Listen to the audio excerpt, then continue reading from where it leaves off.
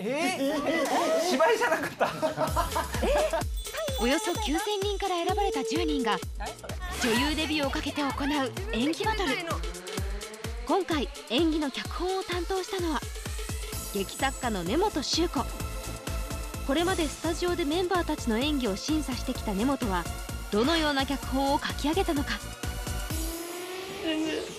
なんかうまくできなくて全員が敵です今それって私に対してちょっと失礼だよ。